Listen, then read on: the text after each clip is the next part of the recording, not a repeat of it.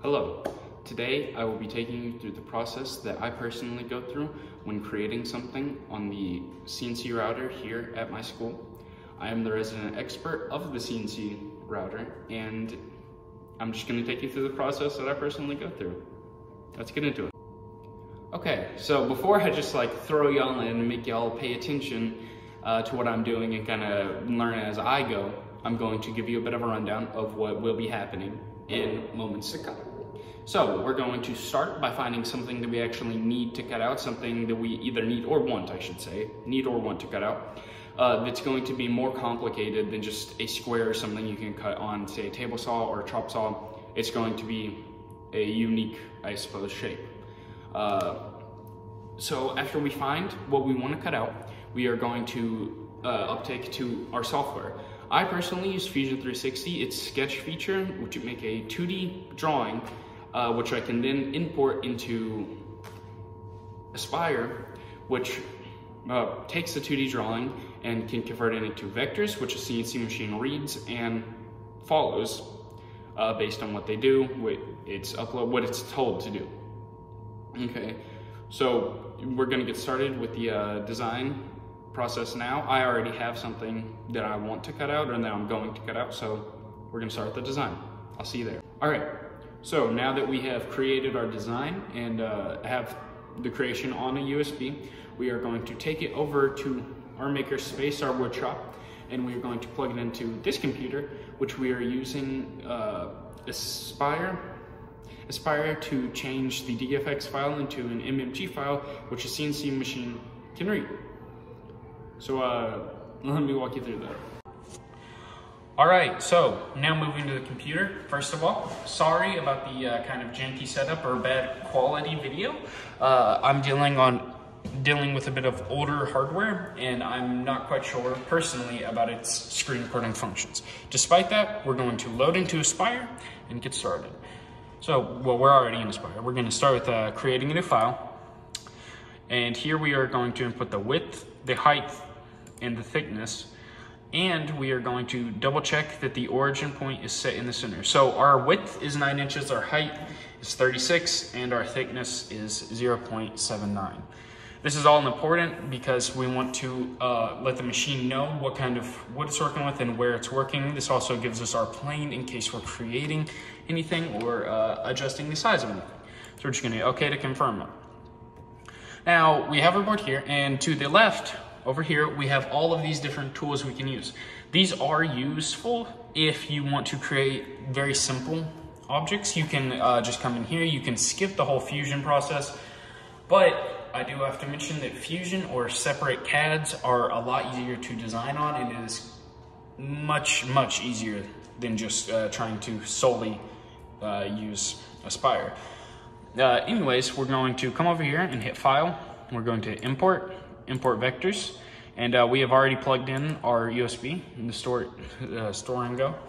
Uh, we named it Demon Slayer because uh, that is the anime that I've based these swords off of. Uh, anyways, we're just going to open this. And as you can see right now, it's here. It's kind of tiny. Uh, we're just going to grab it. Oh, grab it and use this tool here to pretty much make it giant. Now, right now it's not all grouped together uh, and it's kind of making it explode. I can't really get an accurate size out of it. So what we're gonna do is come over here to uh, the join open vectors. We're going to press it. Ours is set very, very small, but you can adjust this based on uh, what you want to adjust. Just note that if it is too big, then it is going to start making your creations or uh, designs look very very uh, improper or not how they're supposed to. We're just gonna hit join and uh, we can test if this worked by just trying to grab one wall. And if it grabs the whole thing, then perfect, it worked. Now, if we come over to this sizing, it is a lot more controlled. I don't know if you can really tell, but it's, uh, it's a lot more controlled and uh, just proper. Right, so Uh, now that we have this, uh, sorry, that was just a kind of auto resizing thing I'm doing to, uh, I, I, help myself, really, not help y'all. Pretty much get it adjusted to the size you need. Uh, we just did. And now we are going to come over here and hit toolpaths. Uh, I like to pin this. If you press this little pin, literally, little pin right here, it keeps this here. So if you move away, it doesn't disappear. Now, there are a bunch more tool, uh, tools that just appeared on the right side of the screen. They all have different purposes and different meanings, but for the sake of this video, for the sake of what we are doing, we are just going to use a profile toolpath. If we click on this, we can adjust the cut depth. Uh, right now, it is adjusted to our, where we need to. You generally want to do your, like the width of your board, and then about 0.5 or 0.6 more. So ours is 0.796, just barely more, just to ensure that it'll cut all the way through. It's, it's sole purpose. So right after this, we choose our bit. Uh, we have multiple here to choose from, but uh, we're going to go with the eighth inch end mill. Uh, I will demonstrate this bit shortly. Uh, it is meant for clearing out rough shapes, but it's small enough to do details, and that's kind of what we want exactly for this uh, uh, design. Right. So now we choose where we want it to cut. So we can have it cut directly on the vectors. These are vectors now. We can have it cut directly on them. We can have it cut on the inside of them or on the outside of them. For really accurate cuts, if you're trying to make, say, a hexagon, but you need it to be exactly one foot on each side, you're gonna wanna cut on the outside and the machine will make sure that it's one foot no matter where it is. Uh, the inside, it's going to make it how you need it in every way. It just depends on if you're having uh, pieces really close to each other. So for us, we're gonna do on, considering we have kind of uh, more difficult spots like here that we don't necessarily want it to be on the outside or it's not, it's just not gonna look right, right? All right, so it's set to on ramp plunge moves. We're just, we're not gonna mess with this. We don't need this for anything that we are doing currently. Tabs. Tabs are really useful because, uh, as you can see, I've already placed some. But tabs are really useful because when it is cutting through, you want the tabs to hold your wood in place so that when it gets done cutting out, it's not just gonna fly. This is especially useful if you're cutting something small and uh, light because on at least most machines, uh, they have a vacuum. Uh, and even if they don't, I mean, you have a, a bit spinning at thousands of RPMs. You don't really want any loose chunks flying all over the room, right? So we're just gonna add a few along the blade. Uh, keep in mind the spots you add them, you don't wanna add them to any thin spots because you wouldn't want it to snap. You wouldn't want your blade itself to snap. These are meant to be thin and easily removable, but you don't wanna break your artifact, as we call it here, uh, while trying to remove something so simple.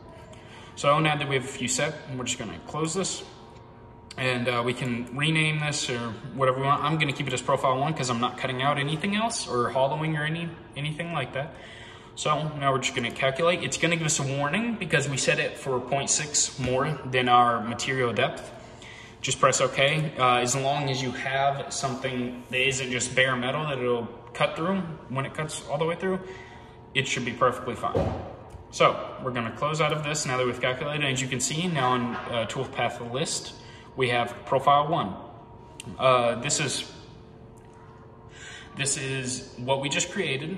Uh, now to see what it's gonna look like, we can preview toolpaths. Now we have a whole different menu. We can, if we turn it, we can, uh, all the blue lines represent how many passes it's gonna do, what kind of time it's gonna take.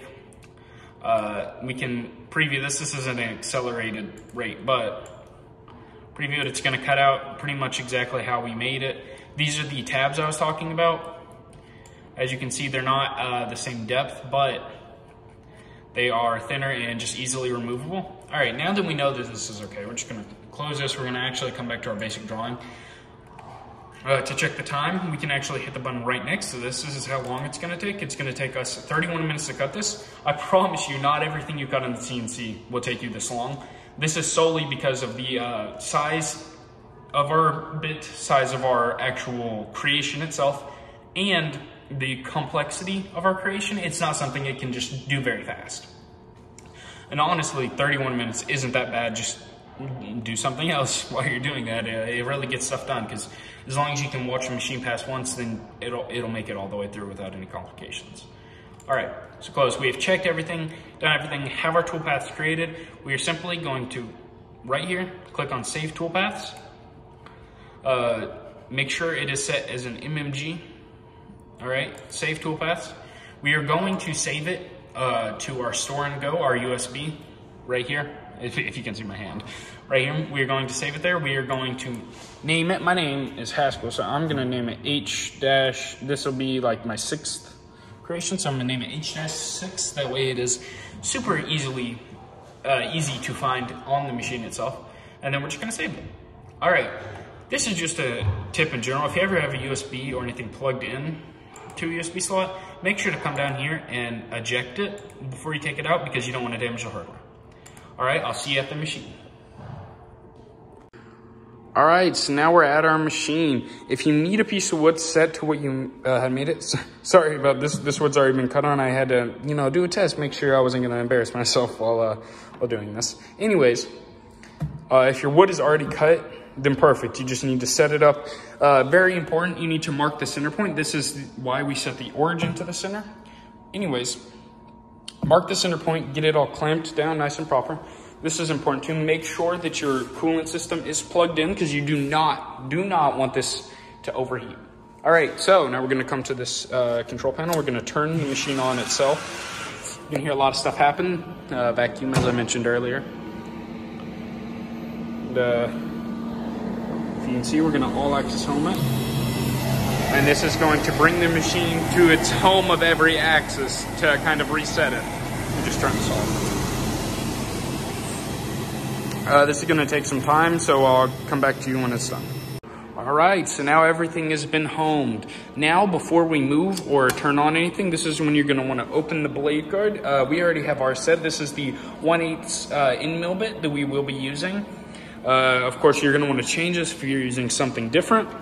All right, closing it up. Now we are just going to use the control panel here, X, Y, Z here, and we are going to use it to go and mark our center.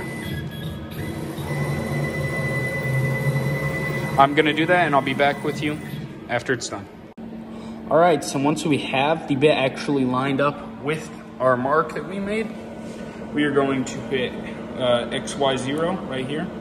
This resets the uh, home or origin coordinate, coordinates. Uh, now we are just going to lift our actual bit itself and get the Z sensor or depth sensor right here. You're going to place, place it right by the blade. And we, I personally like to lower this to make the process a little quicker. But once it's down here, you want to press on off, on off, and home at the same time. And it'll slowly lower the blade. And the second it touches the sensor, it'll shoot up. And that's how it detects where our board is and how thick it is. Right. So now we're just going to install. We just keep ours on top of the machine. Anyways, now we are going to, after we have inserted the USB, everything's origin, everything's homed, we are going to hit run pause delete right here. UDISC file, uh, when it says that, it's talking about any USB that is uh, currently inserted. And now we are going to look through our UDISC files using uh, X and Y. Y is for pages, X is for individual. X and Y to scroll through until we find what we're looking for. We are looking for H-6.